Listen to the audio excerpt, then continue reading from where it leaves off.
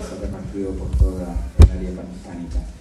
Vamos a, terminar con esta visita eh, para luego pues, disfrutar de lo que realmente nos ha convocado, que es este encuentro de Librea que vamos, del que vamos a disfrutar todos. Gracias de verdad por habernos acogido y por haber compartido, haber querido que compartiéramos este, este acto.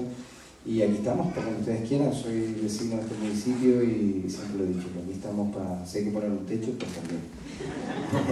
जय राजा तसे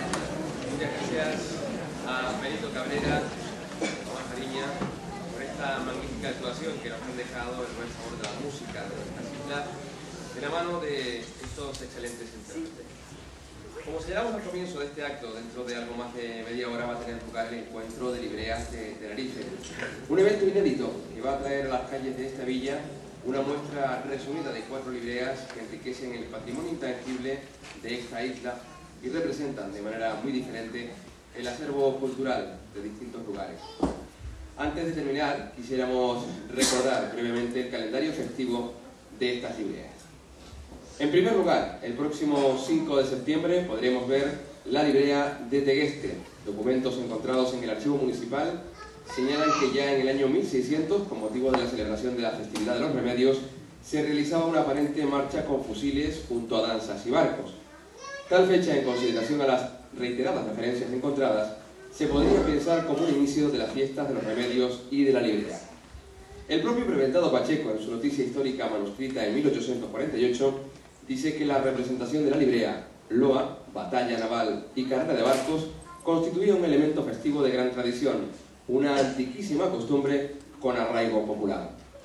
Cada tres años, la vecindad ofrenda a la Virgen de los Remedios su librea en una representación que, partiendo de los datos históricos, rememora un día de fiesta a mediados del siglo XIX, sirviendo de guía a la figura del cura Pacheco, párroco de Tegueste, entre 1842 y 1856. Es una amplia muestra que va recorriendo las tradiciones religiosas, la música y danzas populares, la lucha canaria, las vivencias del mundo rural y los entremeses campesinos. Es una documentada significación que en la batalla entre los barcos y el castillo tiene su momento más impactante. 15 días más tarde, el 20 de septiembre, llega la librea del Valle del Palmar. En esta zona del municipio de Bonavista del Norte aún se conserva uno de los bailes más arraigados y puristas del folclore popular canario, el baile de las libreas del Valle del Palmar. De origen confuso, considerado los únicos testimonios orales dejados por los antiguos moradores del lugar, simboliza la lucha entre el bien, representado por los bailadores, y el mal, encarnado por el diablo, a quien se le prende fuego, como símbolo de purificación. Este ritual etnográfico se realiza cada año con motivo de las fiestas en honor de Nuestra Señora de la Consolación, los bailadores desfilan por las calles hasta llegar a la plaza del barrio. A continuación, y en presencia de la Virgen, se prende fuego al diablo, que comienza a girar por la plaza. Al finalizar la quema, todo el grupo abandona el lugar al ritmo de Tajaraste. La escenifican tres parejas de bailadores compuestas exclusivamente por hombres, de los cuales tres se disfrazan de mujer, con saltos y giros acentuados y los brazos en alto, danzan al son del tajaraste, cuya música es interpretada por dos flautas y dos tambores, acompañados por la figura del diablo. El 11 de octubre le toca el turno a la librea de Valle de Guerra, celebración de raíces religiosos populares que exalta a los soldados canarios que al mando del capitán Francisco Díaz Pimienta lucharon en la histórica batalla de Lepanto en 1571 y también a la Virgen del Rosario, a quien la tradición atribuye su intersección en la victoria de los cristianos frente a los turcos. Sus orígenes, presumiblemente, se remontan a 1615, coincidiendo con la fundación de la ermita para una doble advocación, la del santo y dulce nombre de Jesús y la de la Virgen del Rosario. Esta librea se ha celebrado casi ininterrumpidamente desde 1615 hasta 1971, siguiendo la estructura primitiva de desfiles de barcos y milicia popular a ritmo de tambor, la pandorga, las loas y diálogos entre el turco y el cristiano, rezos del rosario y exhibiciones pirotécnicas. Reanudada su celebración en 1982, lo hace precisamente con el estreno del auto sacramental, que se ha convertido, por su veracidad histórica y plasticidad escénica, en la celebración más esperada de la librea, hasta el punto de que podemos decir que la librea es la referencia sociocultural más representativa del Valle de Guerra y su seña de identidad colectiva. En ella, la música, el colorido y la teatralización nos llevan a la batalla naval, en la que Juan de Austria derrota a la flota turca mandada por Ali Bajá, sirviendo de narrador el soldado Cervantes. Finalmente, el 24 de octubre se celebra la librea del lugar de Buenavista del Norte, que tras un periodo sin representarse debido a la Guerra Civil Española y al fallecimiento de las personas mayores que la promovían, regresó en 1998.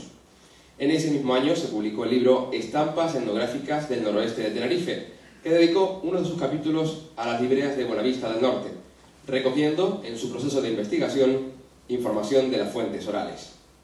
La librea del lugar de Buenavista del Norte se diferencia de la del Palmar en que el diablo va sujeto con una cadena por una niña vestida de angelito. En la del Palmar bailan seis hombres, tres vestidos como tales y tres de mujer, mientras que en Buenavista participan hombres y mujeres. Salían al atardecer de la víspera de las dos fiestas principales, San Bartolomé, el 24 de agosto, y la Virgen de los Remedios, el 25 de octubre. Delante iba el diablo, sujetado por los angelitos. Detrás, en doble fila, los seis bailadores y a continuación, los músicos, el tamburulero o tamborilero y algún tocador de castañuelas o castañetas. Bajo los acordes del Tajaraste transitaban por las principales calles de la población hasta llegar a la plaza principal, donde simbólicamente, para acabar con el mal, se le prendía fuego al diablo, que era amenaza para la vida de los animales y para las cosechas. Están todos invitados a cada una de estas libreas que veremos en septiembre y octubre próximo. Mientras tanto, dentro de unos minutos nos espera en la calle Preventado Pacheco un desfile que va a concluir en la Plaza de San Marcos, en la que podemos disfrutar de información y una pequeña muestra de cada una de las libreas. Que ustedes lo disfruten. Muy buenas tardes y muchas gracias.